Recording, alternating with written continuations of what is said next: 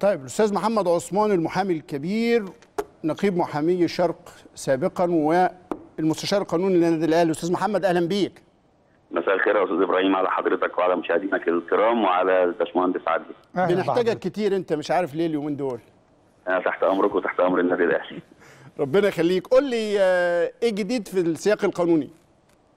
يعني هو قبل ما أتكلم على الجديد أنا بس استعرض سريعا إن إحنا في ذات السياق في ما تم ترويجه من أكاذيب ومن سب وشتائم آه، بيراها ويسمعها الملايين آه، دي حملة ممتدة تقريبا بقالها سنتين أو بدأت من حوالي سنتين. النادي الأهلي في البداية ترفع ولم ينزلق آه، ويرد على هذه المهاترات طبعا تقديرا من النادي لجماهيره ولإدارته ولقيمته.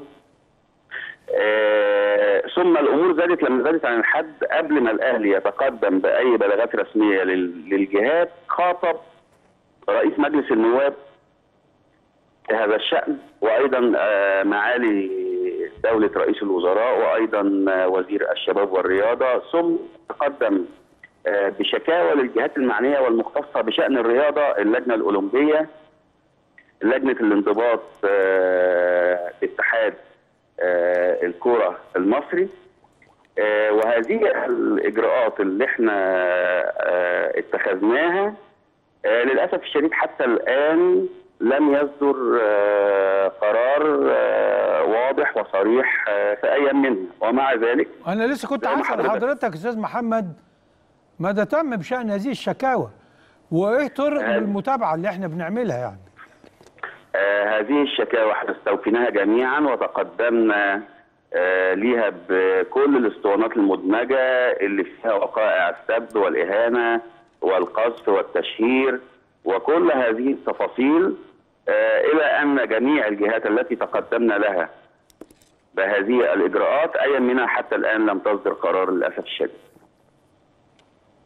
حتى الآن بما فيها لجنة الانضباط في اتحاد الكورة آه، لجنة الانضباط آه، في اتحاد الكرة أصدرت قرار آه، آه، أولي ثم آه، تم التظلم منه وهذا التظلم ما زال في المجلس السابق يا آه، محمد. أمام اللجنة نتمنى أن اللجنة تشكيلها الجديد آه إن هي تنظر في هذه الأمور خاصة وان إحنا الأسبوع الفائت أيضا بمناسبة آه، ما حدث في مباراة آه، كأس السوبر آه. النادي الأهلي أيضا تقدم بشكوى جديدة للجنة لم تنظر حتى الآن طب أنا هفكرك وأفكر الساده المشاهدين بتأكيد المستشار سيد البنداري المستشار الجليل وعندما ترأس لجنة الانضباط في اتحاد الكره كان مع الأستاذ أحمد موسى على التليفون واتكلم بوضوح على منهجية عمل هذه اللجنة ولعل الظرف مناسب للتذكير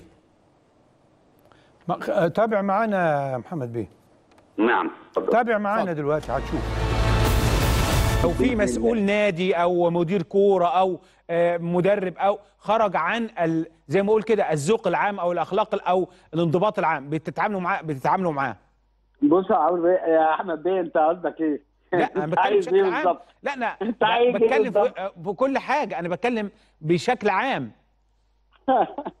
طب لا يا باشا أي عنصر من عناصر اللعبة بما فيها مجالس إدارات الأندية بما فيها ومسؤول- تاني بما فيها مجالس إدارات الأندية يا فندم آه والمنظمين كله يعني بص حضرتك كل عناصر كل من له آه، تدخل. آه، الأندية وأعضاء مجالس إدارتها وكل عناصر اللعبة يا فندم. طيب اللائحة اللي بتعدوها يا فندم هل يعني بتشوفوا مثلا لوائح دول آه، أخرى آه، بنعتمد على إيه؟ ما لازم حضرتك أنا جبت ال ال- ال- اللائحة بتاعت الفيزا و آه. ولائحه الكاف ولازم أراعي هذه اللوائح كلها. آه. وإحنا كويس. بنحط اللائحة الانضباطية إحنا مش مش بمعزل عن دول. خد بال حضرتك بالنسبة لاتحاد الكورة بالذات. في له وضع خاص إن. الفيفا والمحكمة بنجيب الاتحاد ال- الدولي والاتحاد الإفريقي. أيوه. لازم لازم لازم. أشوف الكلام ده عشان أتوافق معاه. آه. مش هعمل حاجة بمعزل عنهم أو فيها مخالفة. لحاجة عندهم فتطلع قراراتي أنا مش مش مظبوطة. أنا ترجمنا حضرتك لائحة لائحة الانضباط بتاعه ال- ال- الاتحاد الاتحاد الإنجليزي لكرة القدم. واخد بالك كل الكلام ده آه لازم نشوفه نقراه نراجعه نشوف إيه المتوافق مع ال- ال- الكاف والفيفا ونحطه كل الكلام ده إن شاء الله إحنا شغالين عليه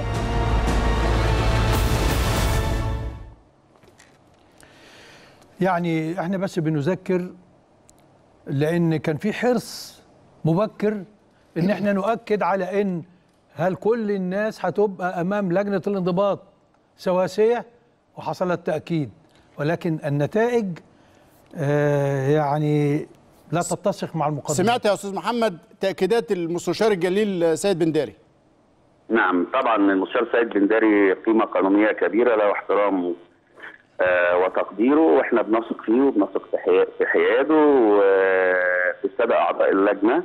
ونأمل أن هذه اللجنة تضع الأمور في نصابها لأن الهدف الأساسي آه، من هذه اللجان هي عودة الانضباط للملاعب، الحرص على السلوك الرياضي الصحيح، التصدي للتجاوزات لأن التجاوزات خطورتها في إنها بتثير الجماهير وبتصنع الفتن بين الجماهير في وقت إحنا ما حدش فينا محتاج هذا الكلام بالتأكيد. فإحنا نأمل إن اللجنة الآن املها أمامها شكوتين وغدا سنتقدم بشكوى جديدة آه، لما تم تناوله بالأمس ببرنامج آه، آه، الزمالك اليوم لأن ما تم تناوله بالأمس آه، في نوع من خدش لسمعه العائلات وتناول الأعراض والخوض في الأعراض ورمي محصنات. آه، ذكر امبارح بالاسم آه، سيدة فاضلة شقيقة الكابتن محمود الخطيب. أنا عايز أوضح لحضرتك في عجالة هذه السيدة الفاضلة سنها 67 سنة. آه، خرجت على المعاش من من سبع سنين وهي مديرة بإحدى كبرى الشركات المحترمة الوقوره وزفاف حفيدتها يوم الخميس القادم. هذه السيدة الفاضلة المحترمة يتم تناولها بأسلوب رخيص دي علاقتها إن صح أن هناك خلاف رياضي ما علاقة آه، البيوت والأسر والعائلات بهذا الخلاف الرياضي إن وجد. أنا شخصيا بعتذر لهذه السيدة الفاضلة لما بدر من رئيس نادي الزمالك في حقها. والأمل الحقيقة الواحد مش عارف يقول إيه في اللي بيحصل دوت لأن الكلام ده في النهاية آه، لا يصب في مصلحة أحد وهذا الكلام بي بي بيصنع فتنة وبيصنع احتقان لدى الجماهير. في وقت إحنا مش محتاجين في الكلام ده في الحقيقة. الشكاوي الغد آه، لأي جهة يا أستاذ محمد. آه، غدا سنتقدم آه، ببلاغ آه، لمعالي المستشار النائب العام أيضا شكوى جديدة للجنة الانضباط بوقائع الأمس وأمس الأول اللي تناول فيها الكابتن محمود الخطيب والعميد محمد مرجان وحضرتك طبعا أستاذ إبراهيم في نفس المسألة. ونأمل أن هذه الجهات إحنا بنضعها أمام مسؤولياتها وتتخذ بقى ما يراه تراه هذه الجهات مناسبا لضبط هذا الانفلات لأن آه، آه، هذا الكلام وهذه الأساليب مردودها هيكون سيء على الرياضة المصرية. هو الحقيقة الخشية يعني أنت حضرتك ذكرت إن بتعمل احتقان لكن هو في هناك أمور أيضا أضيف آه، إلى هذا. ال- الأخطر إنها بتخلق ثقافة. إنك أنت بقى إذا كان اللجوء إلى القانون مش هيجيب لي حقي طب ما تيجي ناخده بالدراع. وتتعالى الأصوات وتتعالى الضغوط في هذا الاتجاه وإحنا وإحنا بنقاوم هذا الأمر لأن شايفين إن دورنا و. ومسؤوليتنا تجاه البلد وقيمة النادي الأهلي فإنك باستمرار بت بتسلك السلوك الحضاري حتى آه، لو لم يتناسب مع آه، ما تلقاه من آه، تجاوزات فنرجو يا محمد بيه إن يبقى في ملاحقة وملاحقة دقيقة ونتواصل باستمرار عشان نأكد للناس ثقتنا في العدالة وثقتنا في القانون وثقتنا أن آه، لن يصح إلا صحيح في النهاية. قبل ما أختم مع حضرتك يا باشمهندس تاكيدا آه، لكلام سيادتك لن ننزلق آه، لأي أمور مسيئة ولن ندخل في أي سلوكيات أو نستدرج سلوكيات آه، مسيئه تتعارض مع مثل وقيم ومبادئ وأخلاق إحنا كلنا جميعا آه، بنؤمن بيها. وإحنا مهما طال الوقت إحنا ثقتنا كبيرة في مؤسساتنا ثقتنا كبيرة آه، في قضائنا. وزي ما أستاذ إبراهيم قال في البداية ما ضاع حق وراءه مطالب وما ضاع حق أيضا وراءه النادي الأهلي. وإن النادي الأهلي آه، ومجلس إدارته بقيادة الكابتن محمود الخطيب. أنا عايز برضه أقول حاجة. كابتن محمود الخطيب ليس رمز رياضي مصري فقط الكابتن محمود الخطيب هو قيمة طبعا آه، طبعا أخلاقية طبعا. ورياضية طبعا. مصرية وعربية وافريقيا وسيظل دائما مرفوع الرأس مرفوع الرأس بسلوكه وبأخلاقه وبقيمته وكأحد رموز آه، الدولة المصرية وجزء من القوة الناعمة آه، لوطننا الحبيب مصر أستاذ محمد ده بالتأكيد لأنه كل حد عنده جزء ولو بسيط من الأخلاق من الاحترام لابد إنه يكون مدين بالاعتذار للكابتن محمود الخطيب على أي حاجة تمسه بهذا ال ال ال ال ال ال الإسفاف وهذا التطاول المتكرر الحقيقة لكنه في النهاية يبقى الأسطورة محمود الخطيب. القيمة عند كل الجماهير ال- الزملكاوية قبل الأهلاوية الحقيقة. لكن عايز أرجع مع حضرتك وأنت بتتكلم على آه، مذكرات جديدة لمعالي النائب العام. الجمهور اللي بيسمعنا دلوقتي على لسانه. طب ما النائب العام هيحقق وهيبعت لمجلس النواب ومجلس النواب كما العادة اللي جرت رفض رفع الحصانة ومن ثم رفض المسؤول للتحقيق. شوف أقول لحضرتك مجلس النواب مؤسسة وطنية مصرية وإحنا بنثق وبنحترم الدكتور علي عبد العال كقيمة قانونية كبيرة. آه، وان نوابنا المصريين في يوم من الأيام إحنا خلاص داخلين على انتخابات 2020 هيجي مواطن يسأل النائب ماذا فعل مجلس النواب في رمز وشخصية مصرية آه، كان يساء إليها على مرأى ومسمع من الملايين النواب لازم يكون عندهم إجابة. أعتقد إن إرساء دولة سياده القانون دي مسألة مهمة جدا. والله انت أنت جيت حقوق الناس بالقانون دي مسألة أستأذنك- مهمة جدا. أستأذنك أنت أرجع جيت- بمجلس النواب أن يصبغ غطاء أو حماية لما يحدث من خبث الأعراض وخدش سمعة العائلات والتطاول على الناس لأن دي مسألة تنال من قيمة الدولة المصرية ومن مؤسسات الدولة المصرية. أنت جيت على النقطة المهمة جدا الحقيقة يا أستاذ محمد على ذكر فكرة إنه ما فيش حد فوق القانون والسادة الأجلاء أعضاء مجلس النواب منحوا هذه الحصانة علشان تديهم الحق في مواجهة السلطة التنفيذية تحت القبة. مش في مواجهة الشارع ولا مواجهة الناس ولا ال- ال- ال- ال- ال- ال- القفز فوق القانون نفسه. ده هيذكرنا بموقف تاريخي لرئيس مجلس الأمة الكويتي الأستاذ مرزوق الغانم اللي فيه مواطنة كويتية اختصمته. فشوفوا الراجل وعظمته وعظمة إيمانه بالقيمة الحقيقية للديمقراطية والمعنى الحصانة. وقف مرزوق الغانم في مجلس الأمة الكويتي عشان يدي درس لكل المؤمنين بالحرية وكل الم- ال- ال- المدركين لقيمة حصانة عضو مجلس النواب عشان يطلب رفع الحصانة عن نفسه نسمعه لأنه الحقيقة إدانا درس كبير.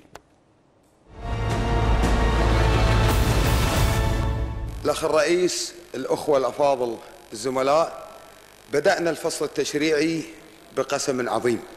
أقسم بالله العظيم أن أكون مخلصا للوطن والأمير وأن أحترم الدستور وقوانين الدولة. والدستور ينص في المادة 166 منه على أن حق التقاضي مكفول للناس. وهذا مبدأ عام. في هذه القضية تحديدا الشاكية أو المدعي الأخت صفاء الهاشمي. هي تعتقد بأنه تم الإساءة لها أو تم أو أخطأت بحقها وهذا حقها. واللجوء للقضاء حق دستوري أصيل لها.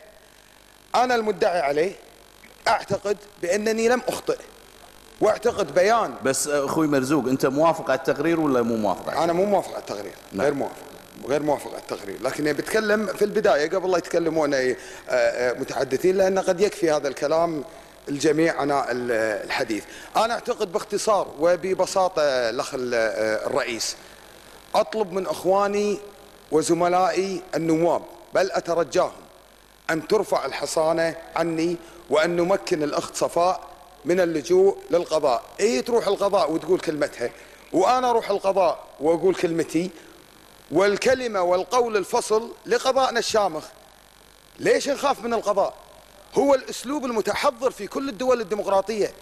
وبعدين اللجوء للقضاء ما هو عيب وحق أنا حقيقة إخواني وأعزائي النواب فعلا يعني أطلب منكم وأترجاكم أن ترفعوا عني الحصانة لأني من 2006 حتى اليوم لم أتمترس وراء الحصانة النيابية في كل القضايا.